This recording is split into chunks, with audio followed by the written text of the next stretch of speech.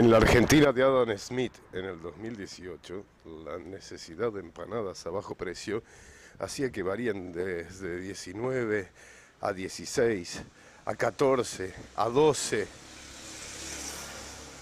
con 90.